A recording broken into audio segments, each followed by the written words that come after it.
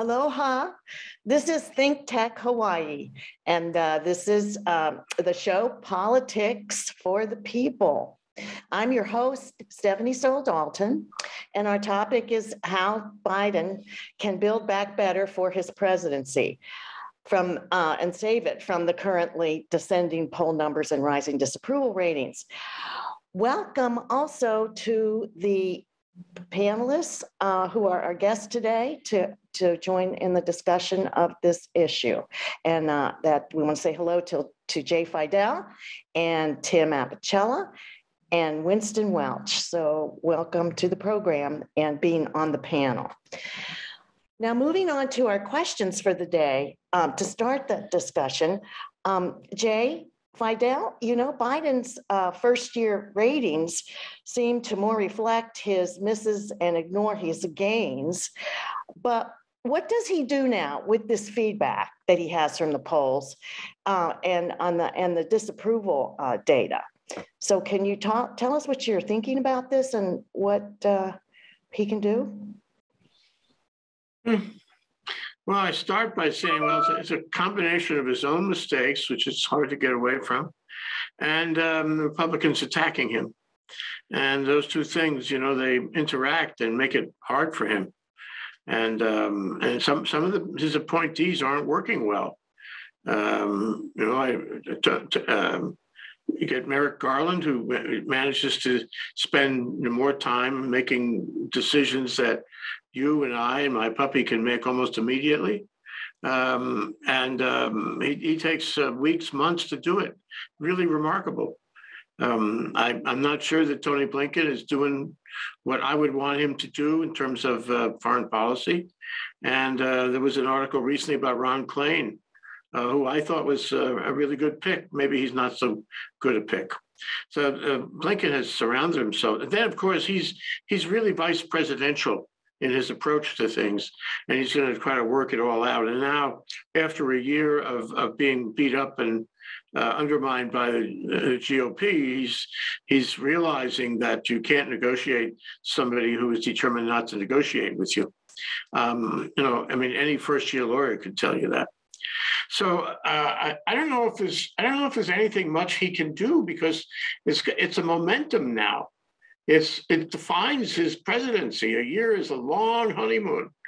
Um, uh, you know, if he were going to change his approach, his style, he would he would become stronger, more consistent. He would get his cabinet to be stronger, more consistent, um, and he would, you know, uh, generally act in a more um, affirmative leadership way. Uh, one of the things that uh, was in the article, I think Winston sent around this morning, which I was very impressed uh, was that they, that's Biden and his, and his administration, as well as all of us, have to cope with people on the other side of the of the spectrum, the aisle, um, who are you know determined to bring him down and bring the country down.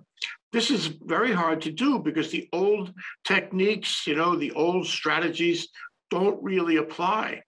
He has to be stronger than he might have otherwise been. He has to take more affirmative stances. He has to deal with pathological people, um, you know, who are taking pathological positions. This is hard for anyone, any one of us, but it's especially hard for him because it's not his style. We know his style is not like that at all.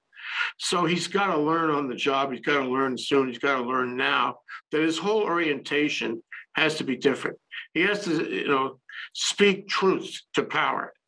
He has to um, you know, take steps to argue back. Um, he has to make it clear that he's on the high road. He has to tell us what we already know. Uh, he has to repeat what he said, just the way Republicans do. Um, and, and he has to, you know, uh, speak to uh, people who are very hard to speak to. Um, and finally, and my this is my biggest point of all, if he wants to recover his administration, he's got to develop a Democratic Party infrastructure around the country.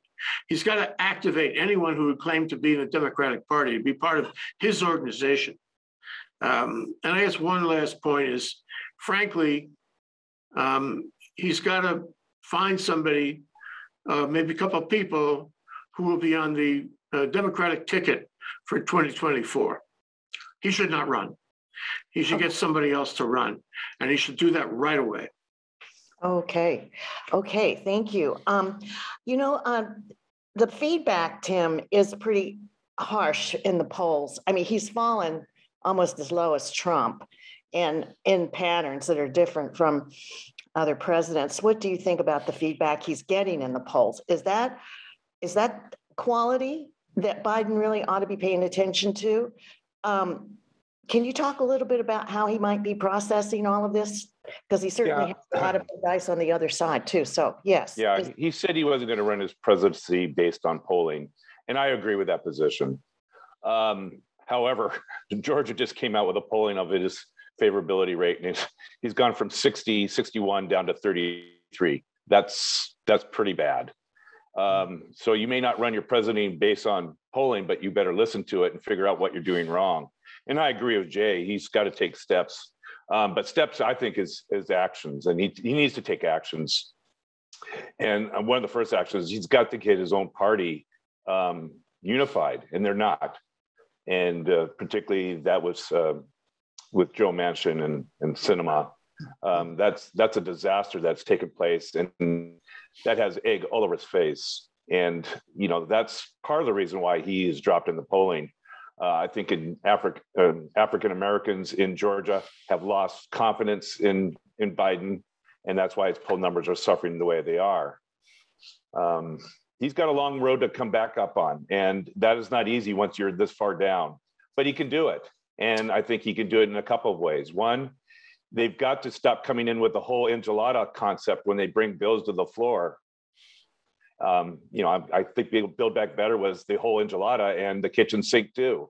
And you got to stop that approach. You've got to get buy off and consensus on each portion of a bill that you want to bring in. And maybe you do break it up. Um, I know he thought he didn't have much time and that uh, the 2022 midterm elections would come and break up his uh, his ability to get anything done. But by bringing in such large packages for for for legislation, um, that didn't work for him. That strategy has failed. So I would go back to Joe Manchin and Sinema and say, look, let's break up BBB. Let's find something that we can all agree on. Yeah, we're not getting 3 point trillion. We're not getting the 1.75 trillion. Let's settle on 900, 950 billion of programs you can live with and the country will benefit from.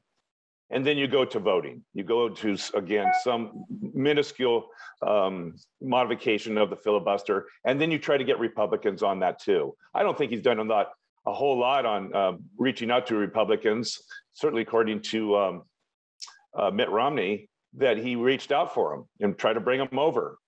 Uh, so he needs to start on those two bills that have stalled and get going on that quick. And then some new initiatives. But uh, he's not going to build back his numbers if he doesn't get something going. Good, good points. Um, I, I think I'm hearing he needs to be more flexible in, in his, uh, legislating plans. And, um, do you think that he's, uh, mimicking Obama in terms of going in with big things? Uh, and has that experience to draw? Yeah, I on? think, you know, Yeah. I think that's what he has been doing. I- Again, I, I don't blame him for what he was trying to do because he knows that he was going to lose the House in 2022 probably. And he thought, this is it. I got one year to get this stuff done, a year and a half. And so he went for, he went for it.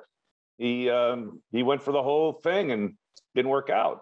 So now he's got to salvage his attempt and uh, get that which he can get done uh, before the midterm elections. And who knows if he does get something done that people like, maybe he can salvage um, the 2022 midterm uh, vote. Okay, You know, I, I'm starting to hear Joe uh, Joe Biden's name in the same sentence as Jimmy Carter, yeah. and that's not good. This is not good. Yeah. Well, um, thank you. That's uh, a, a very sad point uh, to end the comment on, but we can get back to it. And I, I, Winston, I was wanting you to talk about whether um, he should uh, do something about this SCOTUS or the Supreme Court nomination. I just have to ask it. It just came up, you know, last night.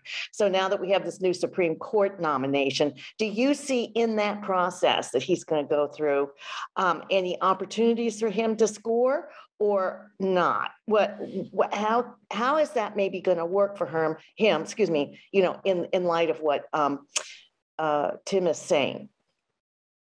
Well, I think her is right because, uh, and him because he already. This is just a check that he wrote that's being cashed now. Um, obviously, there was some. You know, Stephen Breyer was looking at what happened with Ruth Bader Ginsburg and decided he needed to retire now rather than have this come up. But you know, that said, a lot of um, she was very important uh, in her decisions and her uh, reasonings in the last years of, of her life.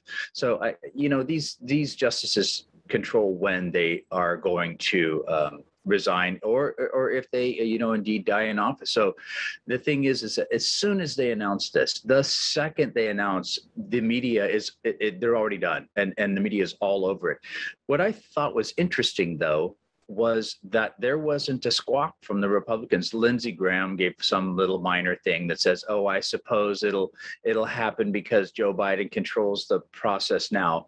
Well, you know, we he's not been able to pass his, um, you know, Build Back Better or whatever uh, legislation he's wanted to get because of uh, Sinema and um, and Manchin, but apparently they're going to go for be part of this 50 vote block plus Kamala Harris to push any nomination he has over the uh, the line. And of course, he's already promised this to a, uh, a, a African American woman, and I think that uh, it's in the same way that he did for his vice presidential nomination. So those that check was already written in some level, and he's just cashing it now.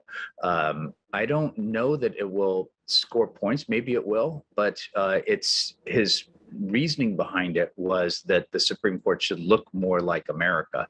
So, in that regard, he's making this slow, steady progress. And Americans don't like slow, steady progress. They like, or they've been become accustomed to loud, noisy distraction um, and um, you know random, seemingly random decisions that that just have chaos everywhere because maybe I don't know it's more entertaining or it's just a, uh, uh, you know exhausting to follow. I, am not sure what that was, but Joe Biden is not that fellow. Given that reality of uh, that Americans have a 30 second sound bite, not even 30 seconds, it's still the next TikTok comes in. I don't think it's 30 seconds long. He needs to send out his um, his legion of very competent, qualified uh, Democratic spokespeople in his cabinet, the Pete Buttigieg's, the Kamala Harris's, uh, whoever, the Amy Klobuchar's, the who aren't in his cabinet that uh, want to be um, there. They need to get Governor Newsom out there and and and uh, putting forth the democratic message and not even the democratic with a big d the democratic with a small d and in that was as tim was saying or, or jay was saying that he needs to reach out to the the Mitt Romneys and the other folks and say, "Hey, you write this legislation. Uh, let's see what you can come up with. That if if you're really intent on salvaging um, our nation as we understand it to be. And I think Mitt Romney could be counted in that, and a lot of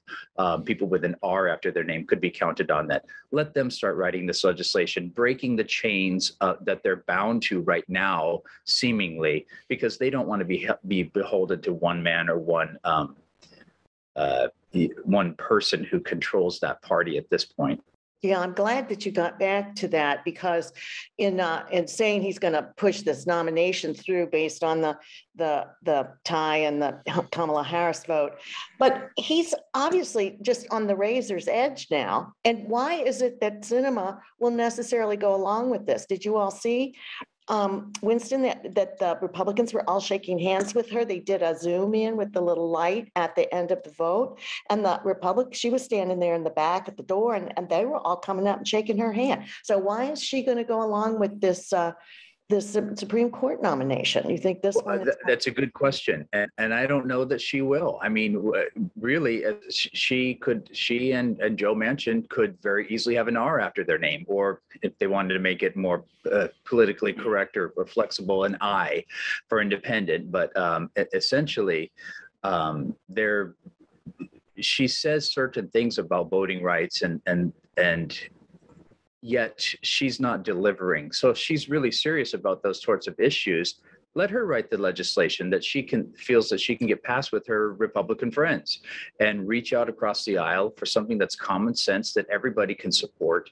Uh, I don't know that she. I- It will. It would not surprise me if she voted against this. Uh, the uh, the candidates that have been, at least the initial ones that have been proffered.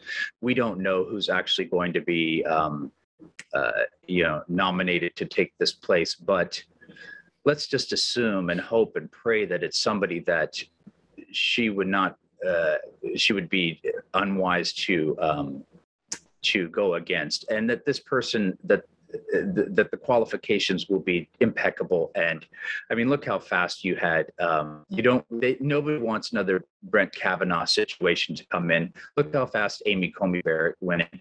I think probably the the Republicans realize it doesn't matter who they put in there. We still have six to three, and that's not going to change. Well, um, that, that's interesting. Thank you. Um, well, Jay, let's switch over now, uh, it, with Biden's dilemma to look at the international side of it. What is the game that Putin is playing? And is he going to play it? And which way? Into Ukraine or back off? What, what do you think is going to happen and what should Biden do? Well, I, I believe he's going to take Ukraine without firing a shot. Um, I think he's going to use uh, cyber attacks on Ukraine. He's going to use uh, political gambits on Ukraine. He's going to undermine uh, Zelensky. Uh, he's going to use uh, Germany uh, and the rest of the EU, um, you know, in a kind of um, propaganda war. Um, and he's going to essentially undermine the Ukraine government till the point where he gets to control it without firing a shot. Let's see what happens. You guys can bet me a pizza on that. Uh, there'll, there'll be no there'll be no war. Um, but uh, he's a very smart, very clever guy, and he has all kinds of tools in his toolkit. Um, and um, he's he's he's playing Biden. He's playing Blinken. I mean, this goes back to your first question. Um, they, they are likely to be embarrassed here. Uh, they are likely to, um, you know, wind up with egg on their face somehow, because he's going to outsmart them, and he's, um, you know, he he's very clever, very brutal. But let me go back to uh, some of the other points that have been discussed this morning, and that is, uh, for example, on on the uh, Stephen uh, uh, Breyer um, re- replacement.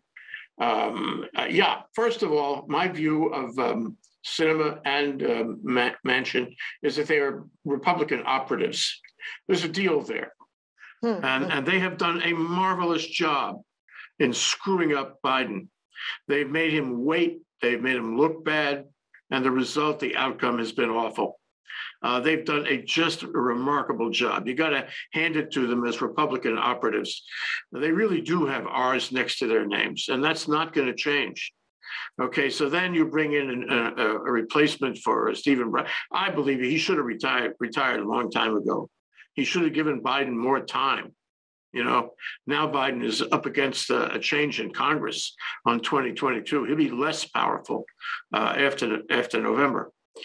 But I think the Republicans are going to do everything they can possibly do in the current configuration of Congress to stop that nomination. And then if they, you know, if they if they win the Senate, which I think they will win the Senate, um, starting 2023, there'll be no Biden candidate who's going to get through. But I, and I, even now, I don't think a Biden candidate's going to get through. They're going to find something wrong with them. They're going to concoct. They're going to cook up something, or her. and um, there, there's going to be a fight on every candidate. There's going to be delay tactics on every candidate. Uh, and they, and this is not only to stop uh, one relatively inconsequential member of the court, because it's still going to be a six to three. Um, it's to make Biden look bad, make the Democrats look bad, undermine their influence, their authority, their popularity. That's what's going to happen on the Supreme Court. I feel pretty clear about that. um, and the other thing is, um, you know, you talk about everybody has ideas, including that article you sent around this morning, which which was so impressive, uh, Winston, about um, you know what what can be done. The reality is, not much can be done. You know, uh, you can't you can't change uh, the way Biden operates, and you can't cast off the mistakes he's made. Uh, It's it's a very likely he's going to continue to make mistakes. B it is very likely that the Republicans are going to attack everything he does, and C the party is fragmented. And the fragmentation was a real undermine um, for the Build Back Better bill. They were fighting among themselves. I, I don't know how that's going to change. Uh, you need a strong leader who'll bat heads, and he doesn't. He doesn't qualify for that. So uh, I think the, you know we're going to have more of the same. It's going to continue. His ratings are going to be low, uh, and that's why I say um, the only way out of this little trap uh, that that that Trump set for him, which is playing out now, uh, is for him to pick a ticket. Um, the regrettable thing there is there's nobody nobody visibly, um, you know, capable uh, of doing that. And I don't know where that person comes from. But then we do have 330 million people. There must be somebody in the crowd who would qualify. Uh, Stephanie, uh, have you thought about this?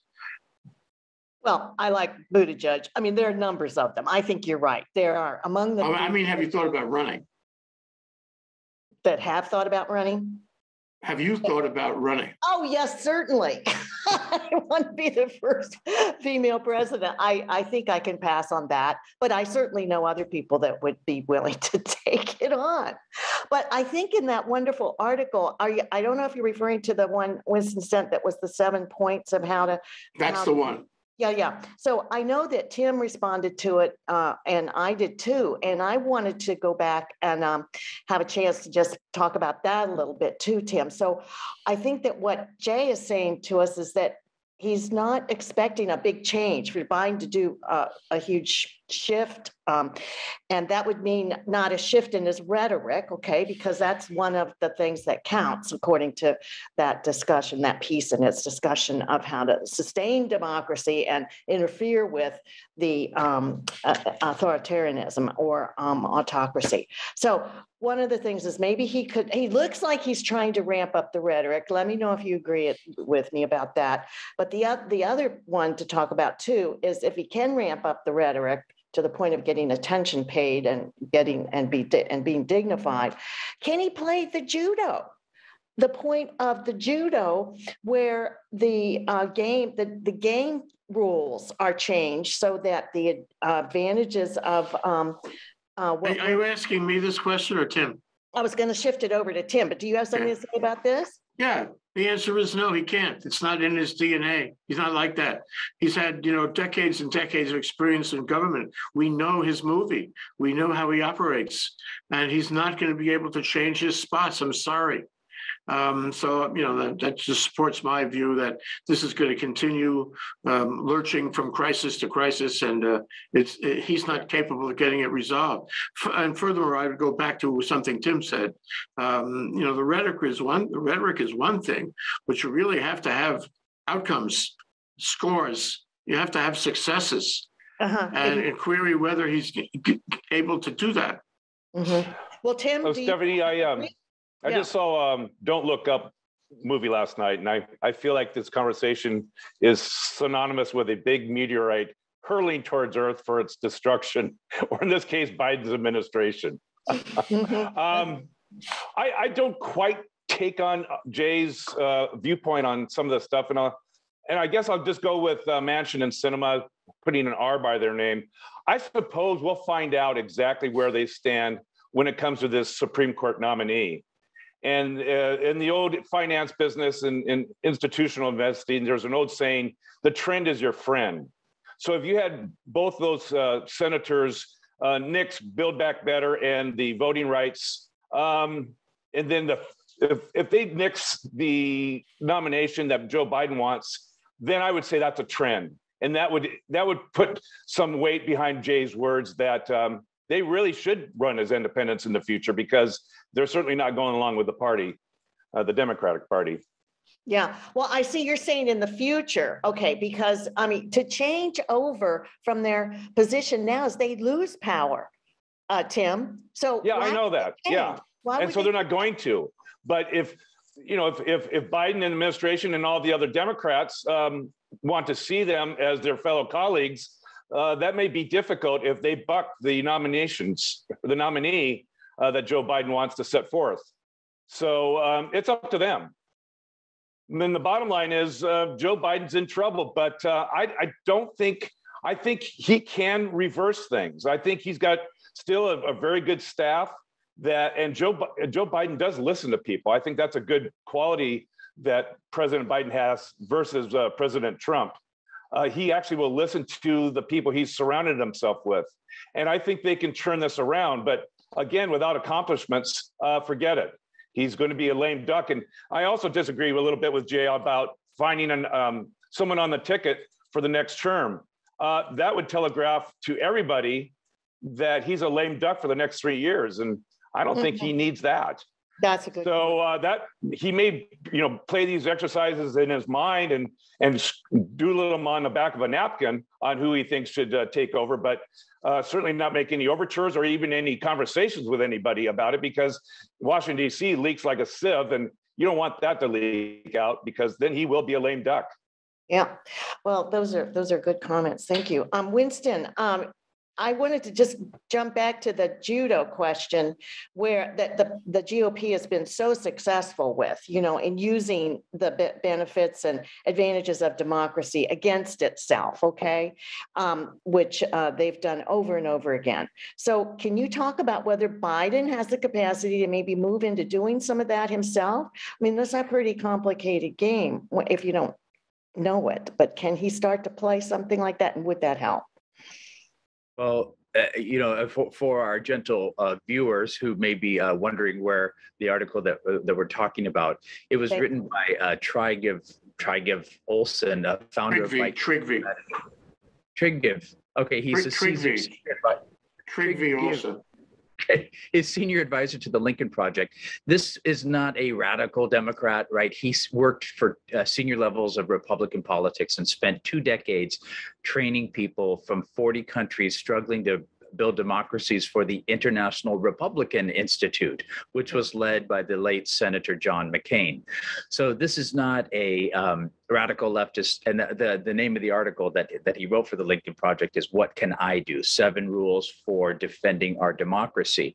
Um, it's it's an interesting read. It's an important read. It's one of many out there that just says, "What can I do? What can we do?" You know, look, Joe Biden is our president. He's a decent man. He will make mistakes. He's entitled to make mistakes. He's also entitled to change direction and change his mind and pivot to where he can see the best advantages. He knows where he's at. Um, in some ways, uh, you know, given that we're so prone to the as i mentioned before this this five second rule you know about uh, our attention span he may be here ending up stronger in the long run because he is the he is the tortoise. And we're not seeing all the things that he done but he actually when i was reading uh, about the uh, nominations for the supreme court he's had more folks appointed there than any other president in recent memory. The judges, the judges for Yes, this. ju- ju- judges, and and uh, I think I read that eighty percent of them are women, um, and over half were were uh, people of color. So he is. Uh, you know, moving forward, he's getting work done. It's not glamorous, sexy, noisy, splashy, chaotic, um, uh, traumatic. It's just getting the work of government done. That doesn't sell very well, being you know the the postal delivery man. But you you don't you try not having the postal delivery man. That's basically what we had for the last uh, uh, you know four years before that, and and it's chaos. And so he is uh, the post not not delivery man, the postal letter carrier. Uh, sorry, sorry for my uh, slip, but it, it, it basically sometimes my postal letter carrier is a man and sometimes uh, uh, a woman. So um, Well, that. anyway, the point is, is that Joe Biden, he's, he is going to, he's our president for the next three years, barring some disaster. And I agree 100% with what Tim said. He should not endorse or suggest that he's not going to run again until maybe you know June uh, or or March of of that election year if that were the case. And if I were him I wouldn't endorse anybody. I would throw it open and see who rises to the top for the masses and who's going to be the strongest candidate. And I think that's what he would do.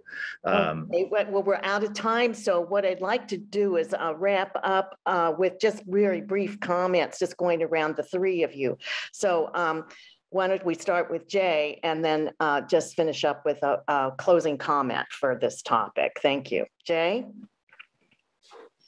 Well, um, yeah, I, I, don't think that, that, um, mm, you know, uh, putting a candidate forward, a ticket forward, um, should happen immediately, but it should happen soon. And I would say sooner than the year of the election. That's too late. Um, that I don't think he's going to make it. If you uh, just look at the way he he walks and talks, um, he's mm, doesn't have the strength that he had a year ago. Uh, so uh, we- need somebody who is apparently strong. Uh, that's one thing. Um, and the other thing is um, all the advice we're getting about what to do. Um, it's it's very hard to avoid the noise. Uh, I get, for example, you know, hundreds of requests every day for money from all these organizations. And I have learned to be suspicious of them. Mhm. I have learned to be suspicious uh, on, on a wolf in sheep's clothing. And I have learned to be suspicious of organizations which are out there raising money for their own pockets. I have learned to be suspicious about organizations which are, don't really represent, you know, the people they say they're representing and so forth. I wish that somebody could, you know, emerge as an organ, they all want money, right? Um, as an organization that could actually do some stuff with that money. But there are so many of them that I can't, I can't trust a lot of them.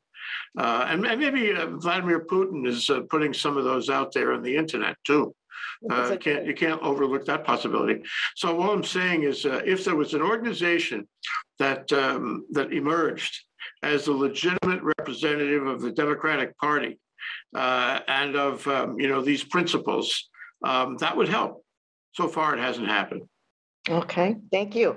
Tim, wrap up briefly? Uh, when I think about what came before uh, Joe Biden was Trump and what could come after Joe Biden as far as a GOP candidate, I'm reminded of an old Turkish proverb, and that is when a clown moves into the palace, the clown doesn't become a king, the palace becomes a circus. Oh, And um, I don't care who's there on the Democratic ticket uh, for Joe Biden or after Joe Biden. It's going to be a whole lot better than what's lined up uh, as potential candidates in the GOP party, uh, because the GOP party has disintegrated into a laughing stock, into a circus itself. So no matter what it is, who it is, uh, it's going to be 10 times better than whatever any candidate the GOP could put up there. Interesting point. Thank you, Tim. Winston, final comment? Oh, I love that quote, Tim. That's really good. Uh, that proverb from Turkey. Um, yeah, uh, maybe, who knows? Maybe the Republicans will snap out of it and they'll realize that uh, they need to reclaim their party, their principled conservative party, which moves towards the center. And maybe they'll, they'll run someone like the governor of, of Maryland or someone who is not prone to histrionics and, and who is a principled Republican, conservative person who seems like okay we can deal with this with this fellow. Um, and maybe the, and like tim said the democrats could do the same. They just choose someone who is a moderate person appealing to the majority of voters across the spectrum so that we can continue to have a sane stable adult um, person in the in the white house surrounded by competent um, clear thinking rational and kind uh, humans. And uh, let's hope for the best there. Um, and I, you know, I still want to have faith in our country, men and women, that we can make those right choices. It's a matter of all of us educating ourselves and each other and uh, making the right choices. Very good. Thank you. We are out of time and uh, uh, uh, thank you, Jay Fidell, Tim Apicella, and Winston Welch for participating today in this discussion. And thank you, viewers, for viewing. And uh, this show will be on again next week. And we'll see you then. Aloha and mahalo.